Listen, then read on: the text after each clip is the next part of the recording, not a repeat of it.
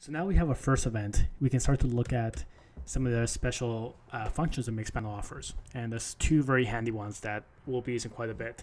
Uh, the ability to track links and the ability to track forms. So this looks like that.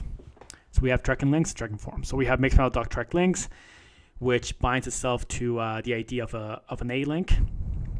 And we have Mixpanel dot track forms, which binds itself to some kind of form here, right? So I'll show you. So we'll create a link here and we'll call it some link. We won't really send it anywhere.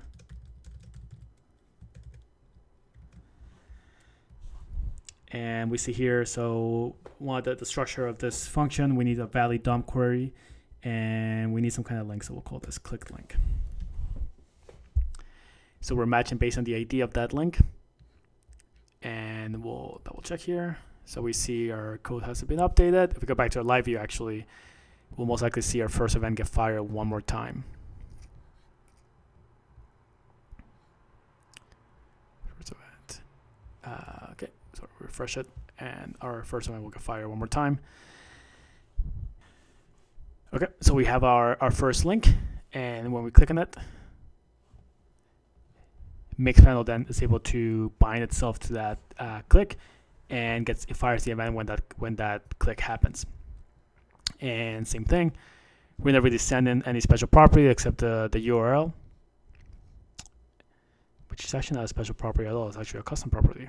It's interesting that it gets sent along with them. But apart from that, you know, you click a few more times and it just simply loads a few more times. So this is one of the ways you can start to add interactivity to, to your web app or to your website and start to bind events, Mixpanel events to actions. And the track forms works in the same way.